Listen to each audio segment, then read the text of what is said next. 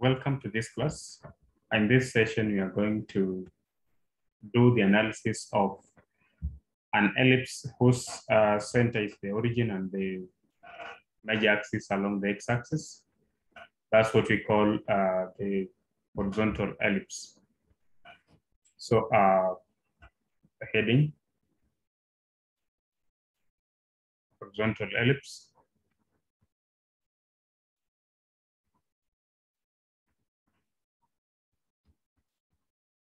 When you say horizontal, you mean that the major axis is horizontal. So this is what, or this how the graph looks like. So center zero zero.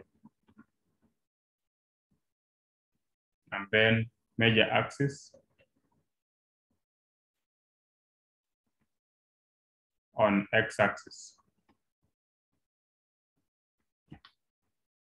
So we have this.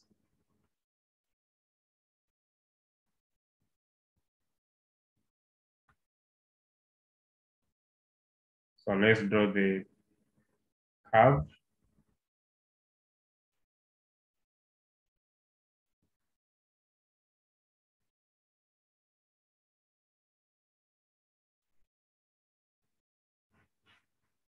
So this is uh, the horizontal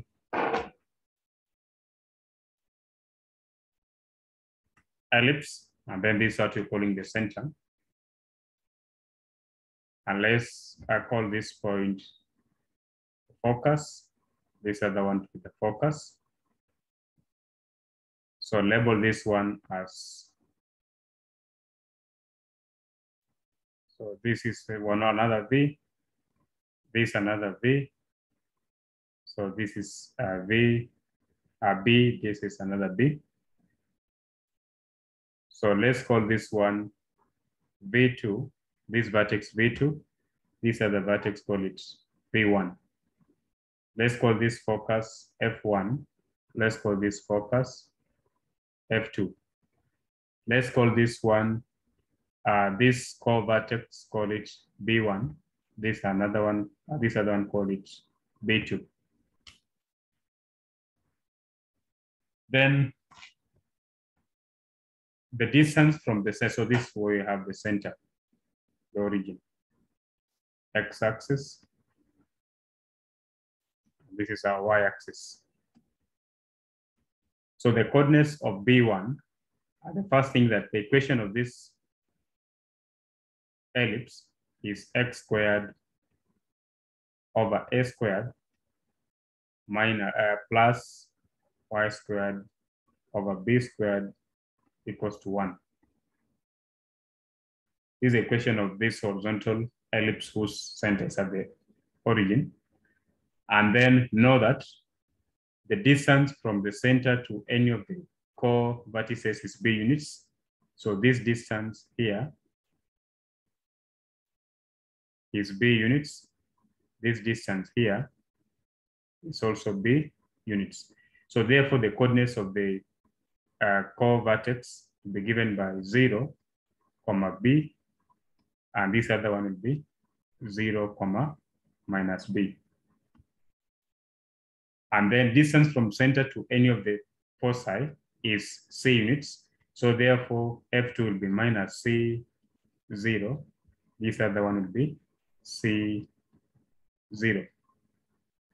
And the distance from the center to the vertices is A units. So the coordinates of this one will be A, comma zero. This other one will be minus A, comma zero. And then on an ellipse, there's what we call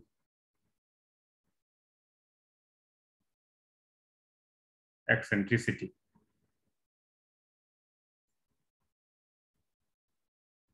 So eccentricity is the ratio, so given by E, is the ratio C over A, where C is the distance from center to a focus.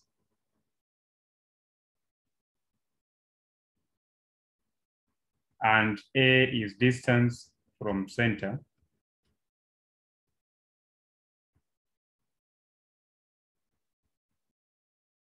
to vertex. So this is how we define eccentricity for actually this is a formula general for any of the conic section. Uh, distance from the focus over distance uh, or distance of the center from the vertex. And for eccentricity, this number must always be less than one. When you work out this ratio, uh, E for an ellipse must always be less than one. So uh, C is given by, so another thing that you have to uh, know on this one is that the distance A is always greater than C and B squared is the same as A squared minus C squared. So you can always find C from this uh, by saying C you can always get as, uh, either A, B, or C from this formula. So we can say C is equals to A squared minus B squared. So this is the relationship between A, B, and C for an ellipse. Now, uh, when you draw a line passing through this foci, then such a line is called latus rectum. So latus rectum is the perpendicular line to the major axis passing through the focus. So this is another latus rectum.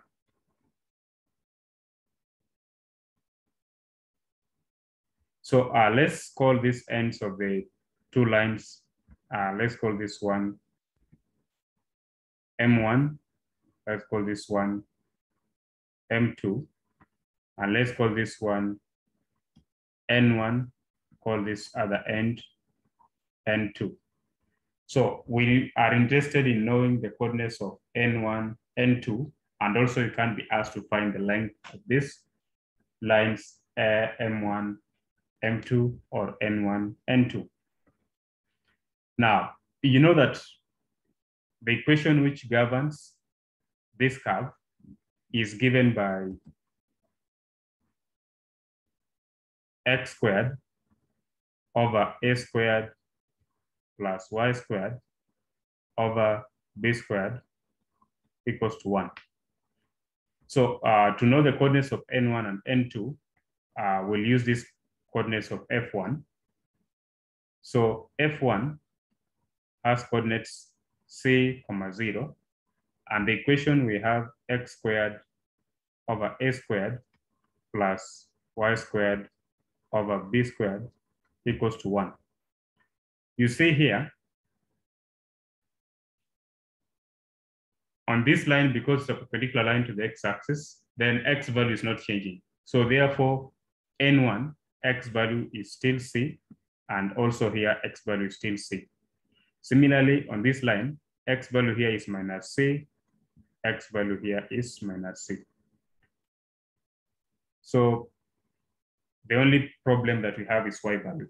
So replacing that one for x, so we can say uh, this y squared over b squared equals to 1 minus x squared over a squared.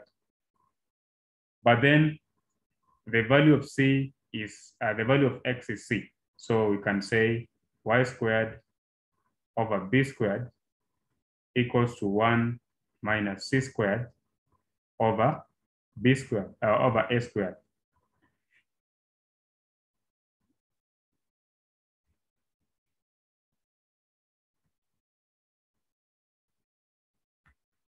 So which means then uh, y squared uh, this you can say if you put under an LCM, so you have a squared, a squared minus c squared. And you see we have said that a squared minus c squared is b squared. So uh, you say y squared over b squared equals to b squared over a squared. And so uh, this is the same thing as saying y squared equals to b power 4 multiplied through by b over a squared. And then to get y, you get the square root on both sides. So this means that y equals to plus or minus b squared over a. So the value of y is plus or minus b squared over a. So it means at the top here, we'll have b squared over a. And then down here, we have minus b squared over a. Actually, if you do the same thing for this coordinate c minus c zero, you get the same values. So here we'll have b squared over a, and then this one is b squared over a. So if you're asked to give the ends of the latus rectum for an ellipse of this kind, you should be able to give these uh, coordinates. And then, so because now we know that from this point to this point is b squared over a, then the length of this line n1 and 2 or m1 and 2 will be simply given by b squared over a times 2. So therefore you say length of latus rectum